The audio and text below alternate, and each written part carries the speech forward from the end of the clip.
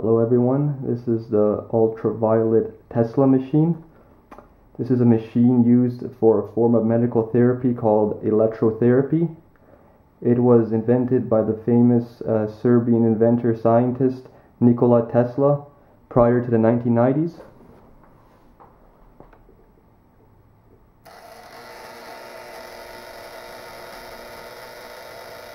Once you turn on the device and apply the wand to your body, electricity begins to crack and adds ozone to your body, in other words oxygen, and you can smell a fresh, tingly smell in the air.